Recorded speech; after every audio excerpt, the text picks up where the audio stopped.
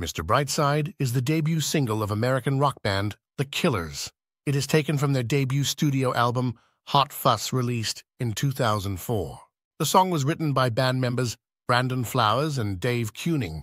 It was one of the first songs The Killers ever wrote.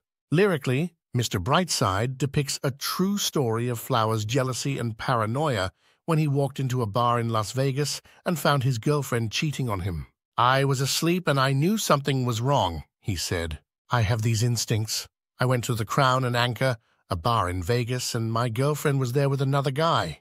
Guitarist Dave Keuning composed the music before meeting Flowers. Flowers then wrote lyrics and composed the chorus after hearing Keuning's ideas. Flowers credits the speed of the song's creation to its having only one verse. He says, We went in and made demos pretty quickly after that, and it took a ton of time.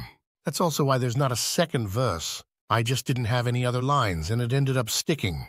Thank you for watching this video about the song Mr. Brightside by Song Context, and do not forget to like and subscribe.